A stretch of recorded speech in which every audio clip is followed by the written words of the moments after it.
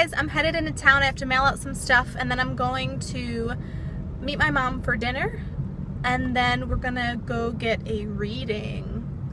Yeah, like one of those kind of readings. Ooh.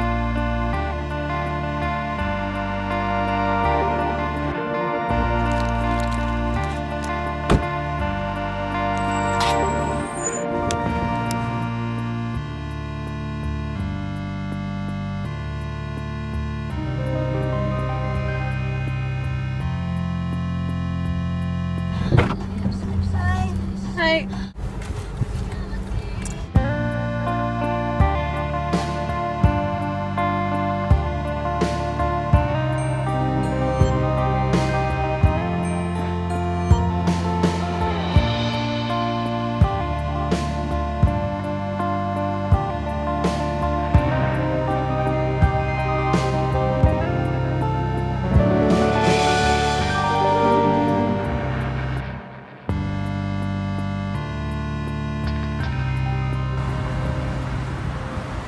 We just had dinner at Bombers, which is a Mexican restaurant in Troy. They also have a location in Albany.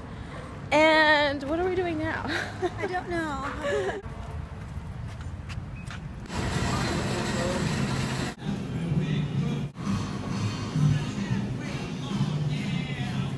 Chai tea.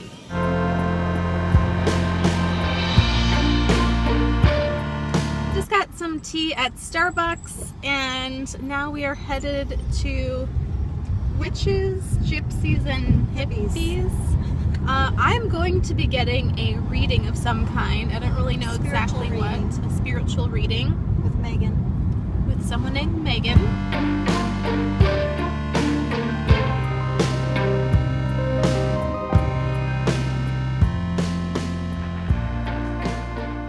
Hey guys, I'm back. I'm at my parents' house just getting ready for bed. Now, I wanted to quickly follow up. I did have a reading, I guess is what you would call it. It was a 15 minute long thing at that hippies, witches, and gypsies place in Troy.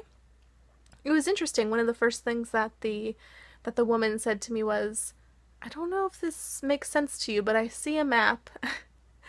and just know that anywhere you land, you'll be fine, kind of a thing. I'm just real quick summarizing. The way that she said it definitely hit me a little more, and there were a lot of interesting things that she said. Won't get into it a lot now. I mostly just want to say thank you so much for watching. I hope that you had a fantastic day, or that you're having one today as you're watching this.